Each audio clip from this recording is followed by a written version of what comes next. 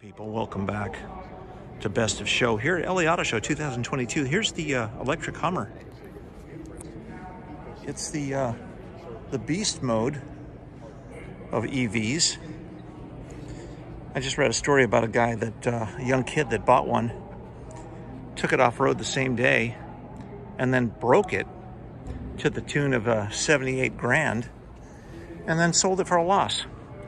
Not fun, but uh, I like it. What do you guys think? I guess you don't have to worry about the uh, gas mileage. And it can hold a lot of your crap. I mean, like a lot.